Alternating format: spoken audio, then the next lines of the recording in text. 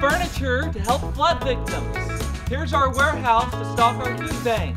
Here's our food bank where we give away free food, chicken broth, mystery crackers, Costa Rica Bella Vista coffee, the magic place where all our bags get filled, and more stuff.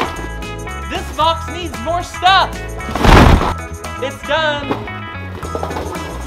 Watch more of our videos so we can buy more big ass fans. We need big ass fans because it gets pretty hot in here building hundreds of bags.